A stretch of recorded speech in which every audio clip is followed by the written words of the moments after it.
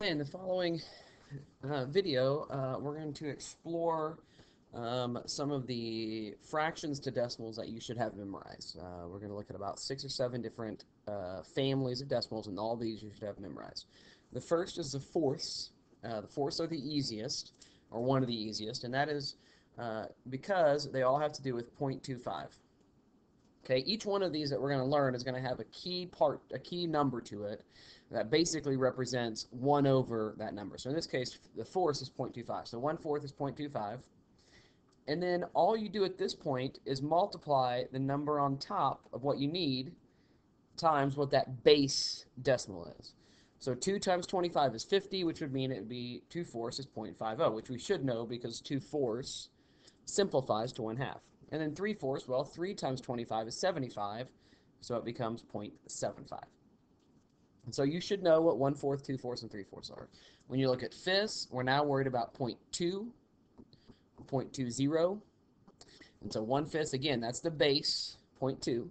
And then we just multiply 0.2 times each one of these. And that's a real easy multiplication. 2 times 2 is 4, so it's going to be 0.4. 2 times 3 is 6, so it's going to be 0.6. And 2 times 4 is 8, so it's going to be 0.8. So determining these is very easy. You should have these memorized. You need to look at this chart and make sure you know what each one of these are. Okay, the next one we're going to look at um, are eighths. And when you, when you consider eighths, eighths is a little bit more difficult. Okay, and that is because this time our base is 0.125, and so it's not quite as easy to multiply by 0.125. So this one requires a little bit more, more memorization than, say, the 10, the tenths will, or what the fifths did, or what the fourths did. So 1 eighth is our base, so 0.125. You should just have that memorized. And you could figure these out by dividing if you forget them, but that's why we want to memorize them, so we don't have to take the time to do the division. Okay, if you multiply by 2, well, recognize that at this point, this is something you already know. 2 eighths is the same as 1 fourth, which is 0.25. Right? That one you should know because you know what 1 fourth is. So then we just need to add 0.125 to 0.25 to get our next one, which would be 0.375. So this is one that you need to be thinking about memorizing. You could multiply it, right? It'd be rather than doing the division, it'd be easier, easier, right, to just do this, right? Carry the one seven point three seven five, then go through to the division. So that's a quicker way to do it than maybe doing division. Four eighths, we should already know it's 0.5. 5 eighths, well, the real easy way to do this is you know it's 0.125 bigger than 0.5. Well, 0.5 plus 0.1 is 0.6. Add the 0.025 and you get 0.625. 6 eighths is the same as 3 fourths, so it's 0.75. And so 7 eighths, you multiply 0.125 times 7, and that's going to give you 0.875. So you should know all seven of those. That should be something that you have memorized. The tenths are by far the easiest. When you think about tenths, you think about 0.1. And so each one of these is just point whatever your part that's on top, right? 0.2, 0.3, 0.4. You should have these memorized very easily. 0.6, 0.7, 0.8, and 0.9. Uh, each one of those, the, the tenths are always the easiest one of, of them. Okay, the last two we're going to look at are the 20ths and the 50ths. And so when you do 20ths, um, this time we're concerned about what is 0.05. And if you notice, I didn't list all of these because I didn't want to take up that much time. We shouldn't need to go to do these.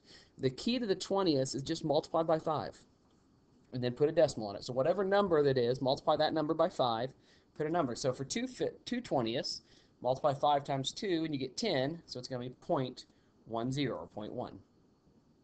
Multiply 7 by 5 and you get 35, and so it's going to be 0.35. Multiply 9 by 5, you get 45, so the 9 20ths is 0.45. 12, that's going to give you um, 12 times 5 is 60, so it's going to be 0.6 or 0.60. 5 times uh, 15 is 75, so it's going to be 0.75.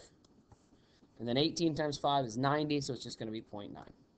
So again, when you're doing 20ths, you, the, the thing you got to remember is that you're multiplying by 5. Okay, 50ths. We're looking at 50ths. This time you're multiplying by 2. So 1 times 2 is going to give you uh, 2, but instead of um, it being 0.2, it's 0.02, right? So you're multiplying it by, whatever you're multiplying that top number by, you're multiplying by 0.02. So when you do 2, it's going to be 2 times 2 is 4, but it's 0.04. Right? 3 times 2 is 6, so it's 0.06. 12 times 2 is 24, so it becomes 0.24. And then you just multiply all these by 2 and put a decimal there. 26 times 2 is just 0.52. 32 times 2 is 0.64. 39 times 2 is 0.78. And then 47 times 2 is, is 94. Put a point in front of it, you get 0.94. So you should have these memorized. We'll go back over them real quick.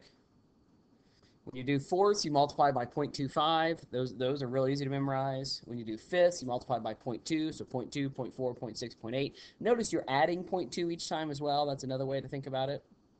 When you do eighths, that's probably the hardest one that I think you should memorize, and that's 0.125 each time. Um, and so we just multiply by 0.125. Remember, the easiest one thing to remember is these three are just the same as 4, so if you simplify the fraction. And that really makes your life easier. Tenths are the easiest. You just whatever's on top, you just put a decimal in front of. And then the last two we looked at were 20ths, multiply by 5 and put a decimal in front of it. Front of it. And then the 50th multiplied by 2 and put a decimal in front of it. So these you should be able to do quickly. Um, you don't want to waste time trying to figure out what these decimals are. It's just going to take you more time than you should spend on any, any math test or quiz or math competition.